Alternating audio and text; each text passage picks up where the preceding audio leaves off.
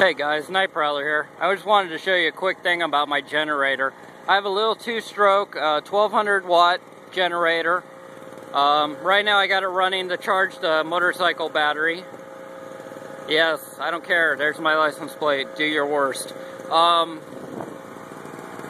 just uh, charging the motorcycle battery because I've been letting the bike sit. Probably needed to be charged. So, but the generator it's got two outlets. Like I said, it's 1200 watt, peak 1200 watt. So constant's going to be about 850 watts. Um, you got your pull cord, basically, your typical normal generator controls. You got a, but only difference is on this one, it's got a 12 volt outlet that'll allow you to charge your motorcycle batteries, your car batteries, quad, whatever, your little batteries and more than enough juice if you're going to run this uh, tent camping. You know, I wouldn't try, even maybe an RV, but very small appliances on an RV. Um, obviously, nothing exceeding, you know, 850 uh, watts. Uh, one gallon gasoline, according to the box, will get you five to eight hours, depending on load.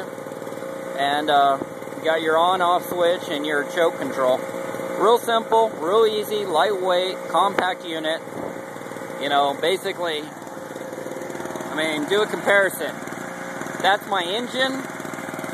That's the generator. It's a two horsepower, so, you know, it's not very big. It's a little bit noisy. I mean, it is a little bit noisy. It ain't the, the quietest thing in the world, but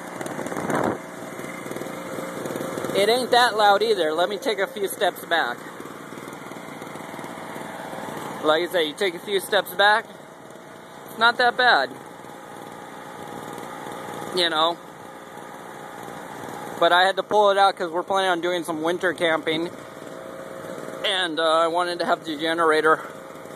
You know, I needed to bring it out and let it start and run it for a little while. So I figured I needed to charge my battery on the bike anyways. So, for a little inexpensive 100 watt generator, not bad. I'd say it's pretty decent. You know, maybe a little backup to maybe a solar or, uh, you know, some kind of like that. Uh, I mean, obviously, I've seen these solar panels that these guys have, and they're running, you know, a couple, couple K.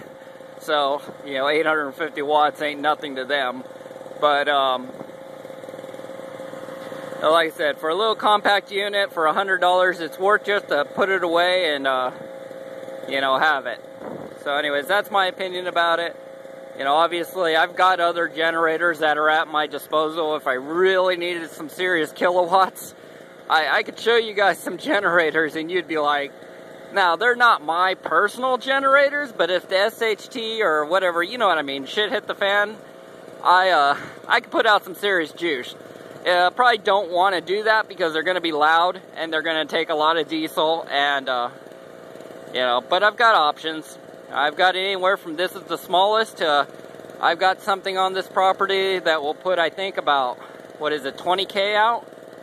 I don't know, it's huge. It's basically the size of a semi-trailer.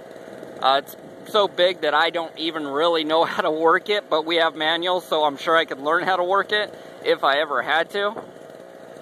But that would be in extreme conditions, like really extreme conditions. I, uh, I'd probably go as covert and low-key as possible, uh, as far as existence-wise. So anyways, figured I'd show you the little generator, and uh, works pretty well. So, catch you guys later. Later.